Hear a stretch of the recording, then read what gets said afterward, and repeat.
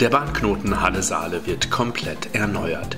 Er erhält elektronische Stellwerke und für den Güterverkehr eine neue Zugbildungsanlage.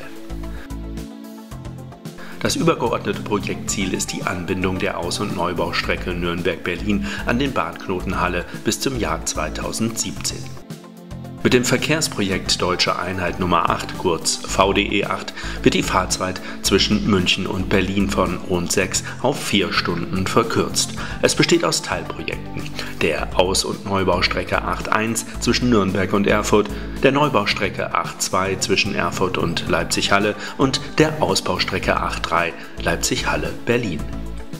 Der Bahnknoten Halle wird ein zentraler Verknüpfungspunkt im Netz und gewinnt weiter an Bedeutung.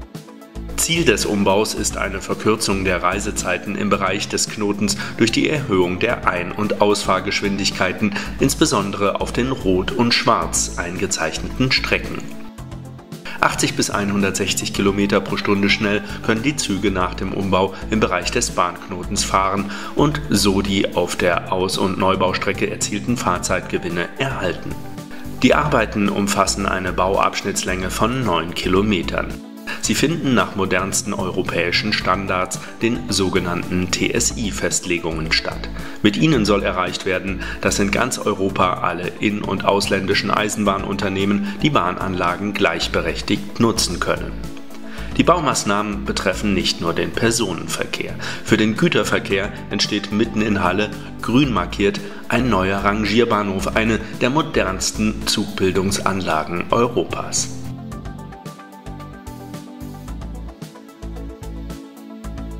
Die Güterzüge kommen von Nordost über die Einfahrtsgleise, die sogenannte Einfahrgruppe, in die Anlage.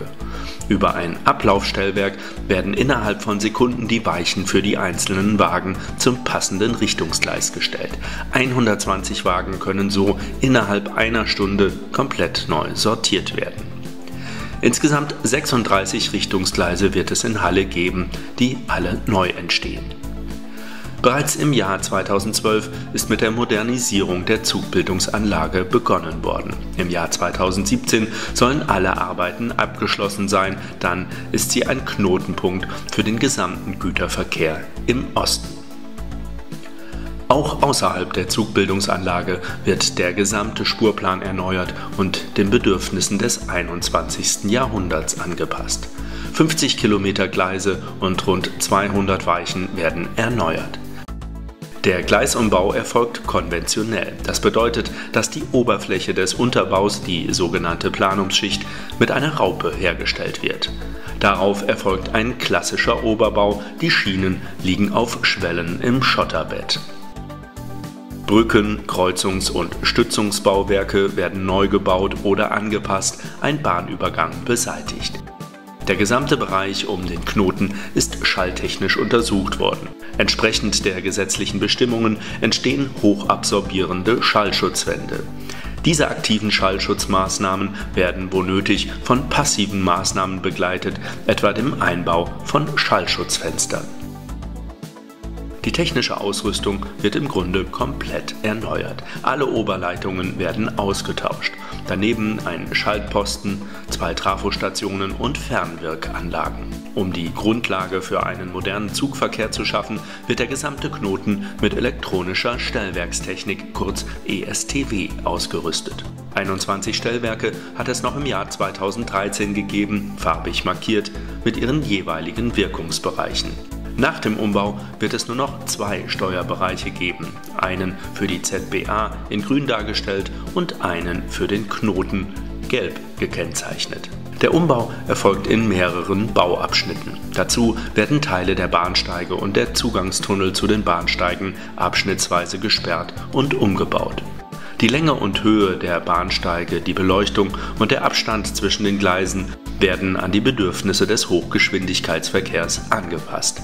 Daher wird es zwei neu gebaute Bahnsteige auf der Westseite und zwei auf der Ostseite des Hauptbahnhofs geben. Im Jahr 2016 wird der Umbau der Bahnsteige beendet sein. Auf der Westseite des Bahnhofs wird im Jahr 2018 mit der Fertigstellung der S-Bahn der gesamte Umbau abgeschlossen sein. Im Jahr 2017 werden die neuen Bahnlinien in Betrieb genommen und schnellere Reisezeiten ermöglichen. Die neue Bahnmagistrale kann mit Geschwindigkeiten bis 300 km pro Stunde befahren werden. Die Auswirkungen auf die Reisezeiten sind enorm. Schon seit 2006 geht es zwischen Halle und Berlin rund eine Stunde und zehn Minuten schneller. Halle Frankfurt verkürzt sich 2017 um rund 55 Minuten. Halle Erfurt um rund 50 Minuten.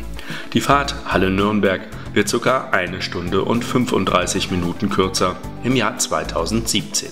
Dann dauert Halle München noch 3 Stunden 5 Minuten, eine Stunde 35 Minuten weniger als heute. Die Schiene wird zur Alternative zu Luft und Straße.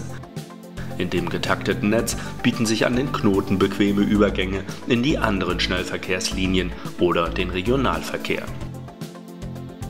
Als eines der größten Vorhaben der Verkehrsprojekte Deutscher Einheit hat die Neu- und Ausbaustrecke noch eine weit darüber hinausgehende europäische Dimension. In Blau die Fernbahntrassen und Korridore der EU, die transeuropäischen Netze, kurz TEN.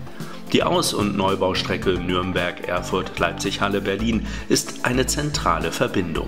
Für die Ost-West-Verbindung in Hellblau von Frankreich bis Polen und für die Nord-Süd-Verbindung in Magenta von Süditalien bis Skandinavien. Das Projekt VDE 8, ein Lückenschluss im europäischen Schnellfahrnetz.